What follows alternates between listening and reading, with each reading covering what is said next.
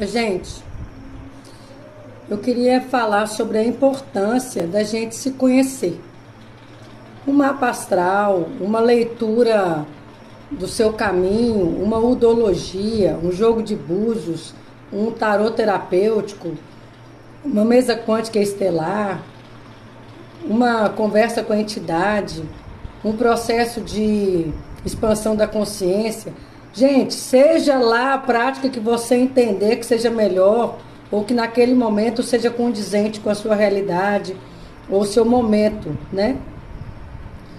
Por que isso? Porque quando a gente se conhece, quando a gente se entende, por exemplo, eu, né, eu trabalho com leitura de Odu, para entender os seus caminhos, seu signo dentro da matriz africana.